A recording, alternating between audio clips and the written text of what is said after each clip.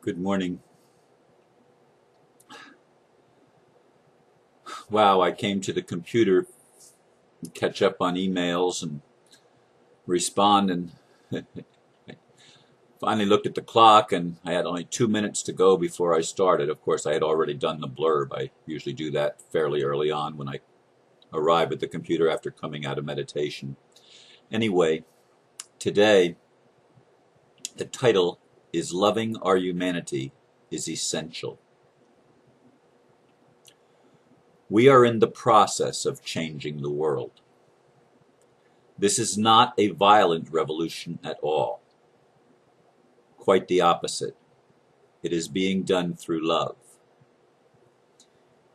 Many of us are awakening to realize that we are not separate from those we love to hate and criticize. we recognize that we are all interconnected, all cut from the same fabric of creation. We realize that we are holographic, each containing the whole. Without that realization, love is merely a word. With it, love becomes the very force of spiritual and alchemical transformation of our humanity. If you cannot feel this yet, you will become aware. We all will. Hmm.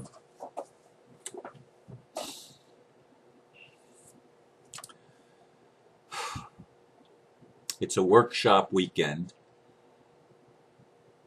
And workshop weekends always have the tendency for me to bring me back to that realization in powerful ways of recognizing the interconnectedness of all life and re recognizing the similarities that we all have.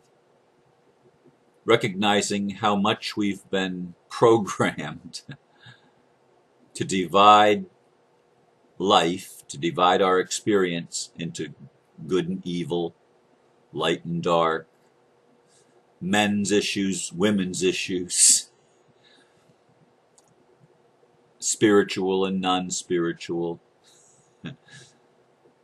we have been trained to judge, trained to criticize, and hatred has almost been bred into the human family, which is why the human race has been so violent. We have thought for eons of time that we could fix things by killing those or silencing those in some manner that held different viewpoints, that expressed life differently than we chose to express it. And we identified with those that agreed with us, and we called that identification love. I should say, we falsely identified that identification as love. So many people in religious cults and organizations, and even political and other types of organizations, tend to believe the lie that because they like the comfort of having those around them that agree with them, that that is love. And while it is nice to be able to experience those that affirm and validate our points of view, while that does feel good and it is nice, it is not love. Love in a polarized world is much better expressed and it's much more healing to express it as I love everyone, and that's not a cliche. As I said in yesterday's talk about my marriages, Spirit has been moving me very, very much to become even more compassionate than I thought I already was. And it's not doing this by increasing my awareness of those that agree with me.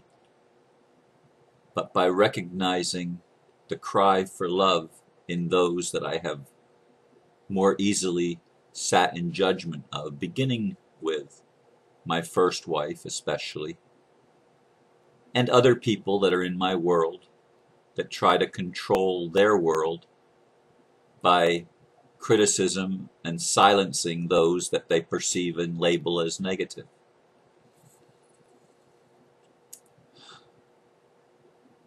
And I'm realizing that judging those that judge is still judging.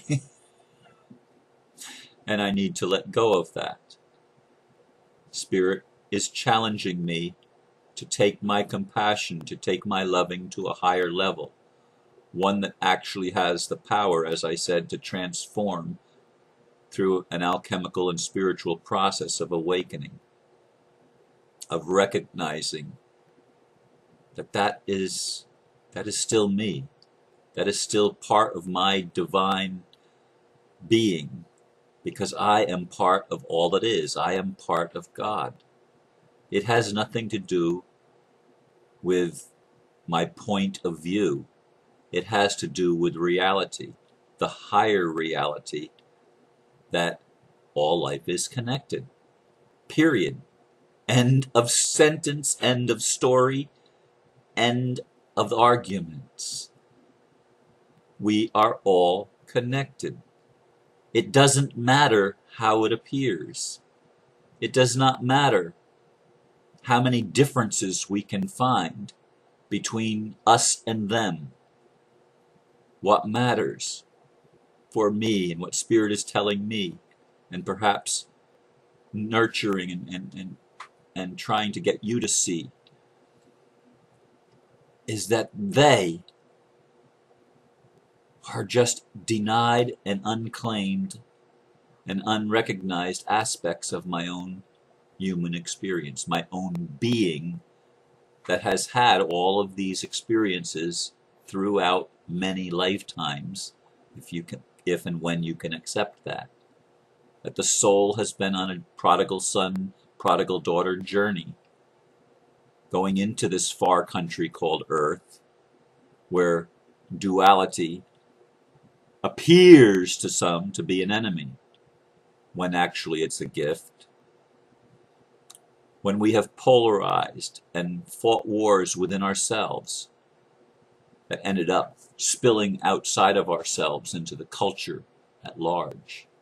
But that's changing, and I can feel the changes happening. And I think many others can feel it as well.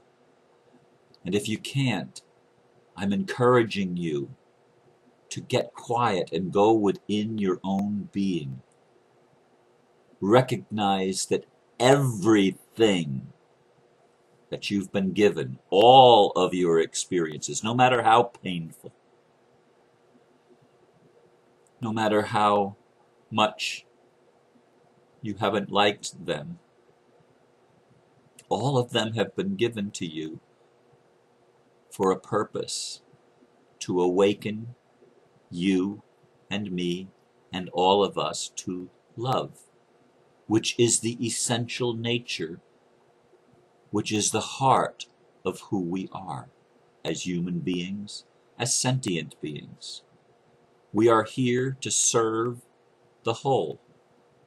And when we recognize that, we, we are served by the whole. And all things begin to work together because we're not constantly resisting and fighting against that part of ourself that we're not willing to recognize and honor and love. That part of ourself that is the wounded part. That part of ourself that is the denied part. That shadow part that is the not good enough, unacceptable part of ourself. We're unwilling to love it, and therefore we create it out there. But the problem is not out there. It's always in here, in me. Which is why Ho'oponopono is so powerful. We recognize that connection with, with those that are hurting, the pain body, the wounded inner child. the part of us that hasn't remembered yet who it is and what it is.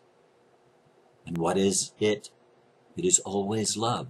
It doesn't matter if it's the Hitler or the Pope or the President or the bankers or the saints or the ascended masters or the angels or the demons. It doesn't matter because creation has occurred with a with apparent separation, but it's only apparent separation. Because that which created only had itself to work from, and itself is himself, herself, God's self, the divine, that is in everything, that is in it all. Without the Creator, nothing was made that is made. Nothing. And there's one Creator, not two that are at war with each other. That is the perception, but it is not the reality. And it's being driven home more and more and more that I am love. And the challenge that I face is to love that which appears opposite, that which appears contradictory, that which appears paradoxical and enigmatic. To love that part of me that is the most difficult to love. Because when I can love that part of me, that part of me changes. It doesn't change because I'm trying to push it away, because I'm trying to hide it, because I'm trying to deny it. It changes because I love it and accept it as a gift instead of as a mere problem. When I get a pain, in my body. I don't say, Oh God, I wonder what's wrong. No, I say, Thank you. I need this adjustment. Help me to understand the gift that you're bringing me here. You're, something is changing, something is happening. I can feel it. Help me to see it with more clarity. Help me to understand it with greater love and greater compassion so that I don't see life as aligned against me, that I begin to see life as my ally, as something that benefits me and benefits all of creation, because all of creation serves itself. Loving our humanity is essential, even though we've been taught in our religion that it's a sin, that it's an illusion, that it's this or that other negative quality. It's darkness, it's evil. That's all BS. That's all programming that we need to overcome. And that which overcomes the programming is an all encompassing love, an unconditional love that embraces the very things it fears, including fear itself. And in embracing fear, it's no longer fear. Fear is transformed into love.